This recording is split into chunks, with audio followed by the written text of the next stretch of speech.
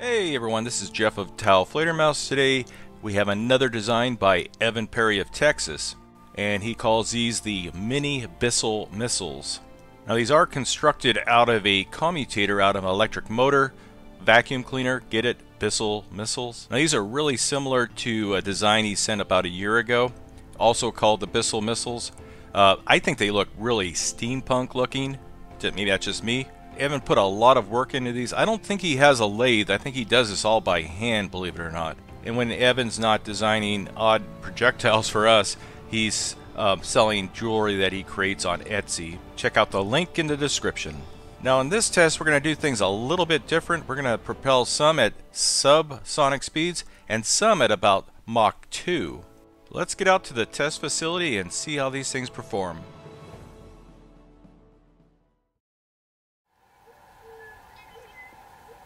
Okay, I'm ready. 15 yards, aluminum plate. All right, here we go.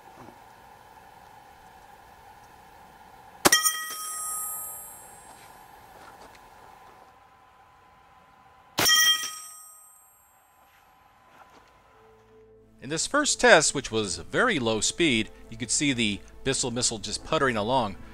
There is a little bit of a spin. These were propelled through a rifle choke. We see excellent stability. It just shot a little bit high, which is, as you know, is common for very lightweight projectiles. The aluminum plate is just a little bit thicker than one inch. Very, very difficult for most projectiles to go through.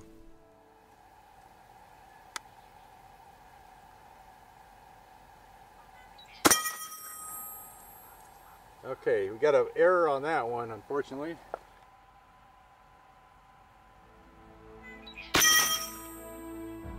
Now, even though we did not get a chronograph reading, from further tests, we know that this is traveling around 2,300 feet per second.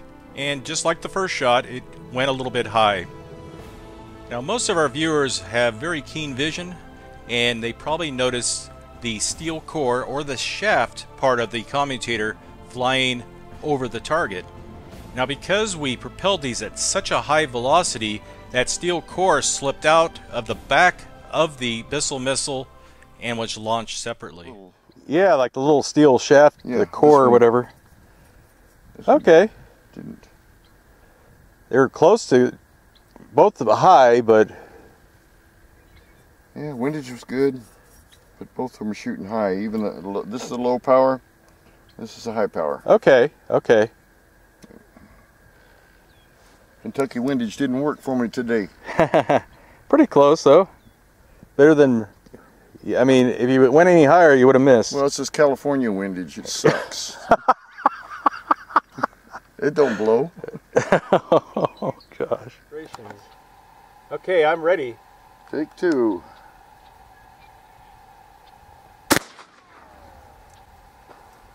Where'd that one hit? It looked like it clipped the right corner. Oh gosh. Now in this test, the only thing that went right was Danny was able to hit the lead plate at all.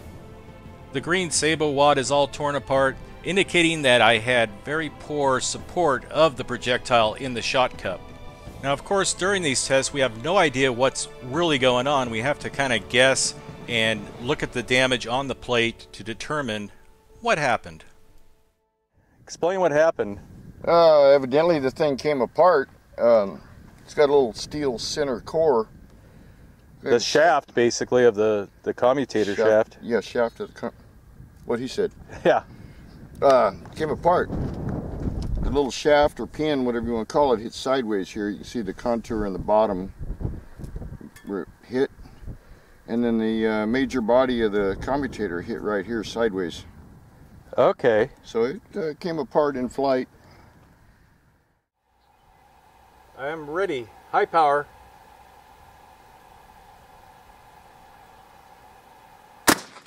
Wow. 22 92 feet per second, folks.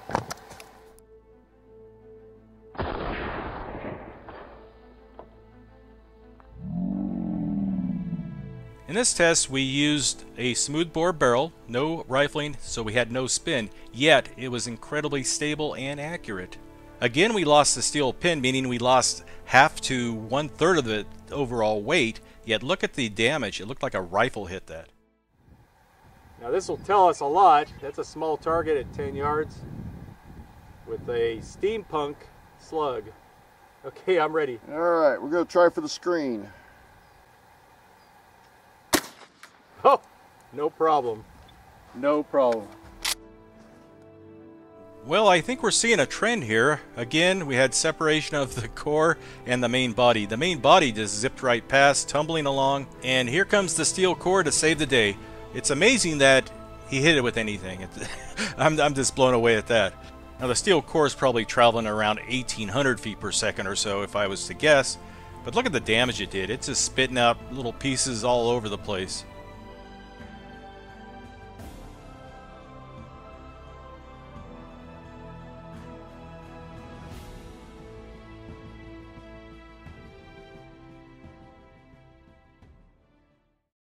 Almost forgot about the ballistic gel. He, he actually wanted to make sure that we use it on ballistic gel. I almost forgot it.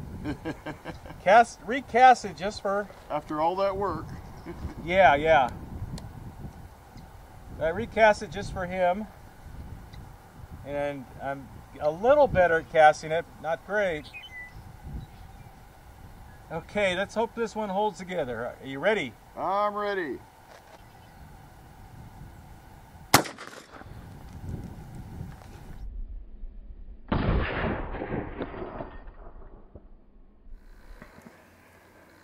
See where each one of the pedals on that commutator went in. Yeah, yeah. Blue.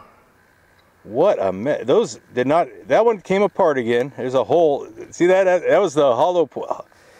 He pulled out that little wad there. That because it was hollow because the The, the steel shaft came apart again.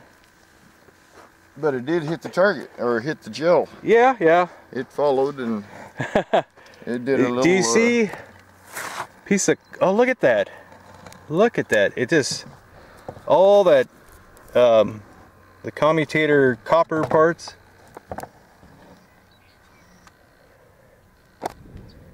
Just fragmented. That's nasty. And then, gosh, I'm I'm getting a little better at the the gel, folks. Um, still, I still suck at it. just not I'm getting a weird reflection off of it. just not good with CDs. Yeah, that's another story. But anyway, the steel core, you can see how it went down. Hopefully you can see that. Went down and then whoop, and it went out the back, hit our vest, and we found the steel pin on the ground. Victim of inertia, knocking it loose from the rest of it. Sometimes it worked, sometimes it did that, sometimes it didn't. It actually bounced off the board. Okay. Look at that. It went down, bounced, curved back up, and came out. Funny, funniest wound track I've ever seen because it was going down like 45 degrees and boop, boop. it didn't bounce back up, but it just had enough energy to just go all the way through the gel. Evan Perry of Texas with his his crazy, uh, you know, home crafted stuff that yeah usually works. I mean, enough of them worked that it was uh, I'd call it a win, and a few of them came apart. Probably because we I pushed them way too hard. 2,300 feet per second is uh, maybe asking a little too much for these. Live and learn. It's like oh, Don't. another bad idea from Jeff. Push them too hard. Well, there you go. Thank you for your help, Danny. We're out here sweating, and So we have showed you its features. no, you're right. Let's do it the dumbest way. Eh, That's kind of my motto there. Now, once again, yeah, we can blame Jeff on this one. uh, we had separation of the core and the main body. But we can still imagine what would happen if it didn't separate. Yeah, the outer part would have just exploded like that, and the core would have continued straight through like that. And it would have done that at a higher velocity. But I gotta say, that slug absolutely wrecked the ballistic gel.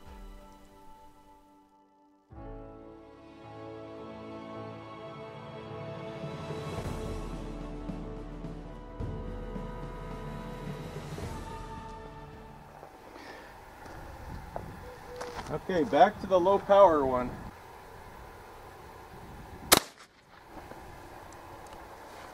That's better, more promising. At least to hit it. The Corona target.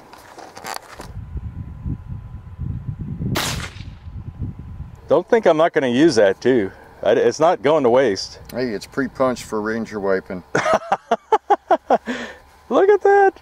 That one was 1183. That might be the, the velocity they're supposed to be going at.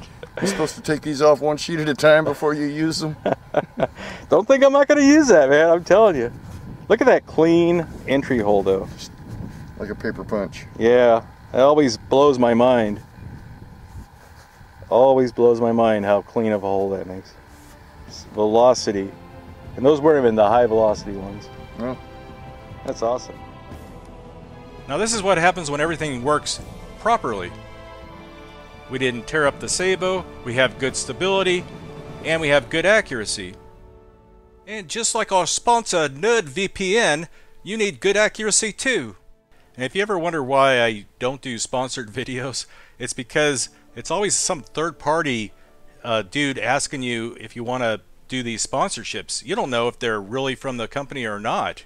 And you have to send them all your sensitive tax information, personal information. Do you really want to trust some stranger with that? I say no. So I want to thank you for watching and our wonderful Patreon supporters for keeping this channel alive. We'll see you next time, folks.